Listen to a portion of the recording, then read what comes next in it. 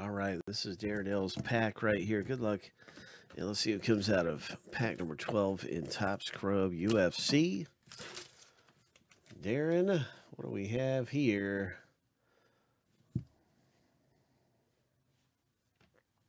Oh, looks like a really nice one right there.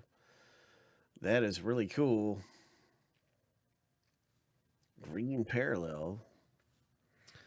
That's number 299. 62 of 99 on that green parallel.